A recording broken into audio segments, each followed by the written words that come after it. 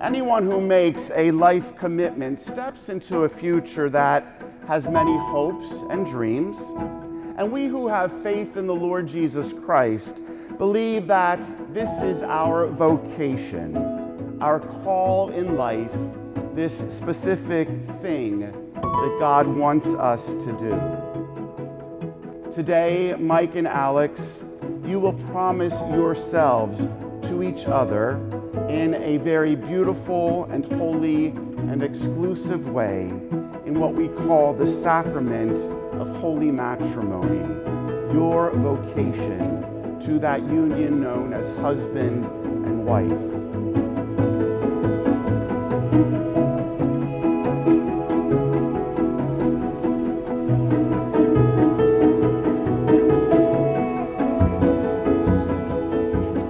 So, hi everyone. Those of you that don't know, my name's Justine. I'm Alex's little sister.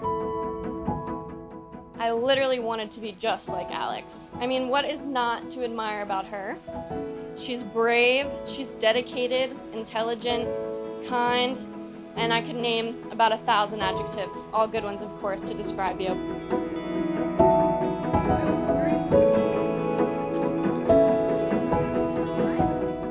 My dear friends, you have come together in this church so that the Lord may seal and strengthen your love in the presence of the church's minister and this community.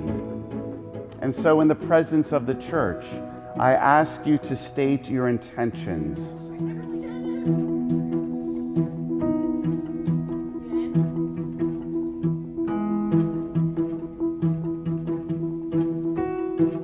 I'm Michael, take you, Alexandra, I, Alexandra, take you, Michael, to be my wife. to be my husband, I promise to be true to you in good times and in bad. in sickness and in health I will love you and honor you. all the days of my life.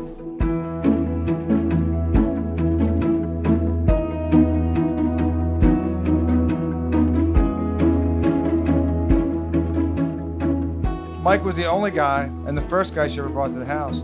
And, and from the moment I saw him, I mean, I knew, and the way they interacted, I knew that it was for real. And, and when, he, when he came to ask me if he could marry her, I mean, it, it was already done because in my heart, you know, he was already there from the word go, really, you know, because he was that kind of person.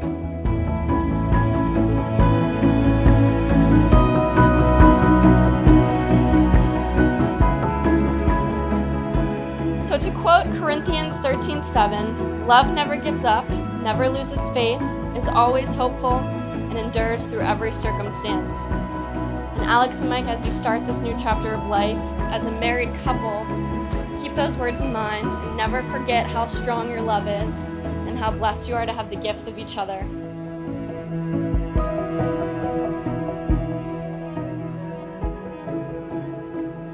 You have declared your consent before the church. May the Lord, in his goodness, strengthen your consent and fill you both with his blessings. What God has joined, men must not divide. And I present to you Mr. and Mrs. Michael McMahon.